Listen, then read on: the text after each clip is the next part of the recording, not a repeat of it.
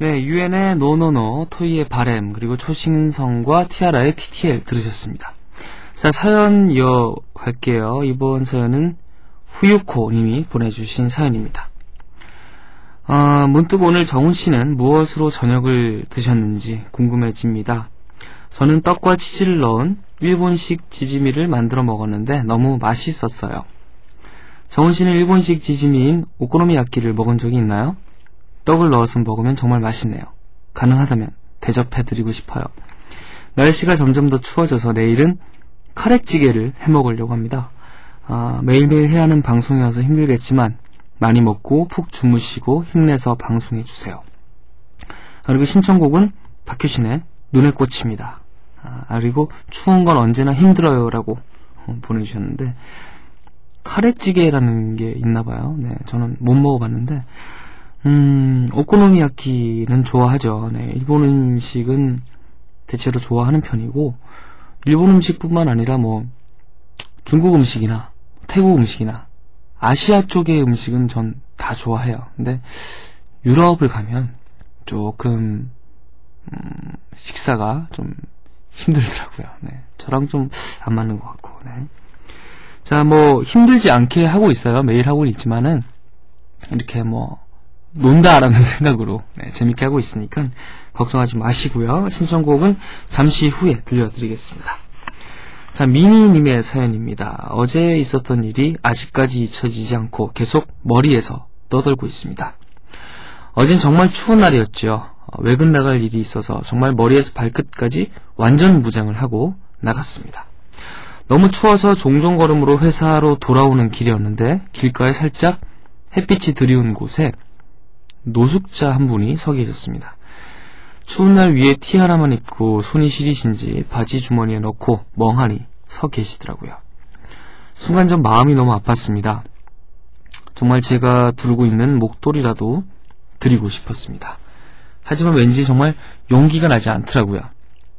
그리고 어, 죄송스러운 말이지만 그분이 어떻게 행동하실지도 모르겠고요. 그래서 그냥 빨리 돌아와 버렸어요. 근데 그분 모습이 아직도 잊혀지지 않네요. 마음이 편치 않아요. 그분이 조금이라도 어, 따뜻한 겨울을 보내셨으면 좋겠어요 하셨는데 어, 좀 날씨가 이렇게 추워지면서 이렇게 가슴 아파하는 분들 많으실 것 같은데 그분들이 이 겨울을 좀 따뜻하게 어, 보내셨으면 하는 생각이 저도 좀 있네요. 아, 우리 모두가 좀 이렇게 관심을 더 많이 가져야 될 것 같습니다. 자, 신청곡 듣고 다시 올게요. 자, 후유코님의 신청곡, 박효신의 눈의 꽃. 박격포 대속 주머니님의 신청곡, YB의 너라면 좋겠어. 그리고 보라님과 후키코님의 신청곡, 넬의 기억을 걷는 시간 듣겠습니다. 네, 이제 그 여러분 사연 소개는 잠깐만 쉬고요. 예, 일요일에만 들을 수 있는 특별한 코너 이어가겠습니다. 제가 그 여러분께 들려드리고 싶은 노래들을 직접 선곡해서 들려드리는 DJ 추천곡 시간인데요.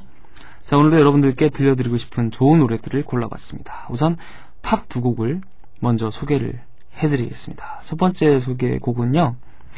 아, 잘 아실 거예요. Knocking on Heaven's Door라는 노래입니다. 그 CF나 그 영화 삽입곡으로 많이 쓰여서 많이 이렇게 익숙하실 텐데 요즘같이 이렇게 쌀쌀한 날 들으면 뭔가 분위기가 따뜻해질 수 있는 노래라서 들려드리려고 합니다.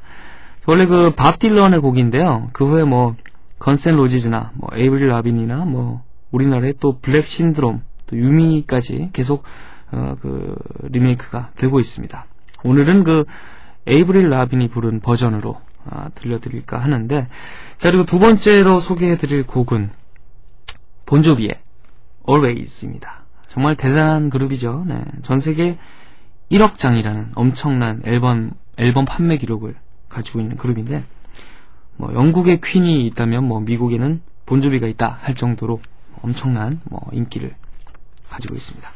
자, 수많은 명곡 중에 고민을 했는데 오늘은 그 어떤 그 지나간 사랑에 대한 상처까지 영원히 간직하겠다 뭐 그런 내용의 뭐 올레이즈를 함께 들어보겠습니다. 자 차가운 바람이 부는 날 더 잘 어울리는 노래 에이브릴 라빈의 Knocking on Heaven's Door 그리고 본조비의 Always 듣고 다시 올게요. 네 다음으로 여러분께 들려드릴 곡은요 우리나라에서 가장 영향력이 있는 가수, 문화 대통령이라고 불리는 서태지 씨의 노래입니다. 아, 정말 그 서태지와 아이들의 노래들, 90년도 초반에 나온 것들이어서 뭐 거의 이제 뭐 20년 가까이 돼가는데, 신기할 만큼 요즘 나오는 노래들과 거리가 참 없죠. 오히려 정말 파격적인 시도들을 많이 한 노래들이라는 뭐 그런 생각이 듭니다. 오늘 들려, 들려드릴 서태지 씨 음악은 테이크 원인데요. 그 서태지와 아이들 해체 후에 서, 태지 씨가 그 솔로 활동을 한 첫 번째 정규 앨범에 실린 곡입니다. 자 그리고 마지막으로 추천해 드릴 곡은 김현성 씨의 유죄라는 곡입니다. 98년도 그 김현성 씨 2집에 수록된 곡인데 음, 타이틀곡은 그 슬픈 변명이었죠.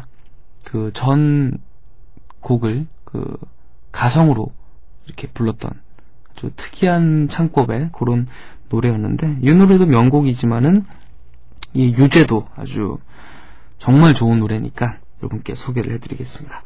자, 세기를 앞서가는 뮤지션 서태지의 테이크 원 그리고 애절한 목소리의 1인자죠. 네, 김현성의 유죄 두 곡 듣고 오겠습니다.